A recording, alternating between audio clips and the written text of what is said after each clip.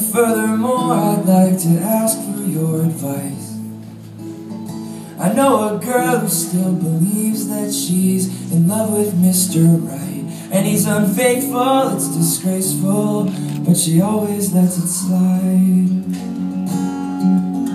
Now she don't even put up a fight.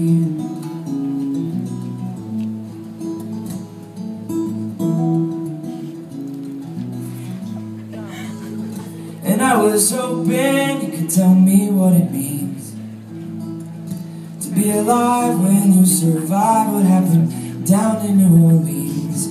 I've seen the news and I'm confused Cause there's gray where once was green.